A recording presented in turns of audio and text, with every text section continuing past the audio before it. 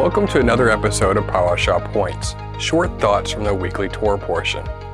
This week's Parashah point comes from Vayetze, which is Hebrew for "and he left," and it goes from Genesis 28:10 to Genesis 32:2.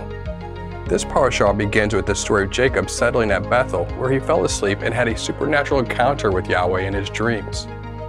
It also tells the story of Jacob working for Laban and marrying Rachel and Leah. Then we learn about the birth of Jacob's children and Jacob prospering at Laban's expense. The parashah concludes with the story of Jacob and his family fleeing from Laban. There's a lot we can talk about in this Torah portion. Today, we're just going to present a thought about God meeting us where we're at. If there's anything we've learned about Jacob by reading his story in the Torah, it is learned that he is someone who strives, struggles, and manipulates to get what he wants. Jacob seems to be the kind of guy who looks out for number one that is, himself. He was able to convince his brother, Esau, to trade his birthright for a bowl of stew. And he even deceived his father into giving Esau his blessing. This led to Esau threatening to kill Jacob.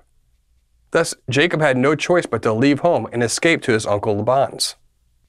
This brings us to Jacob's dream. On his way to Laban's, he settled at a place that would soon be called Bethel. He found a rock to lean against and fell asleep.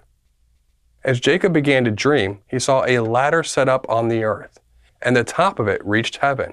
And behold, the angels of God were ascending and descending on it. Then, above the ladder, the God of the universe begins to speak to Jacob. Yahweh promises to fulfill his word despite the trials that Jacob is facing. He promises that Jacob and his children will indeed inherit the land that God promised Abraham. Yahweh then concludes this encounter with a personal blessing to Jacob. Genesis 28. Behold, I am with you and will keep you wherever you go, and will bring you back into this land. For I will not leave you until I have done what I promised you. What's amazing about this blessing is that Jacob didn't have to strive for it. He didn't steal it or manipulate someone else to get it.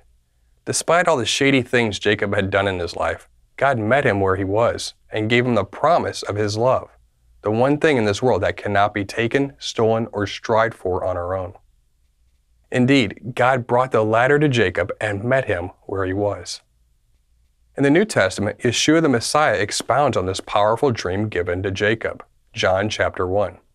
And he said to him, Truly, truly, I say to you, you will see heaven opened and the angels of God ascending and descending on the Son of Man. Yeshua the Messiah, the Son of Man, is our ladder to God. There's nothing you can do to buy this ladder. It cannot be traded or obtained through manipulation. Even if you work 14 years like Jacob did for Laban, you cannot earn this ladder. God's love, fully manifested in His Son, is a gift that we can either choose to receive or turn down. The significance of a free gift is that it gives the receiver of the gift no opportunity for boasting in his own talent or strength. As Paul says, For by grace you have been saved through faith, and this is not of your own doing. It is the gift of God, not a result of works, so that no one may boast. We all need to hear that and be reminded. God's love is available to you right now. All you have to do is open up your heart and receive it. Thank you for joining us for another Parashah Point. We hope that you've been blessed by this teaching, and remember, continue to test everything. Shalom.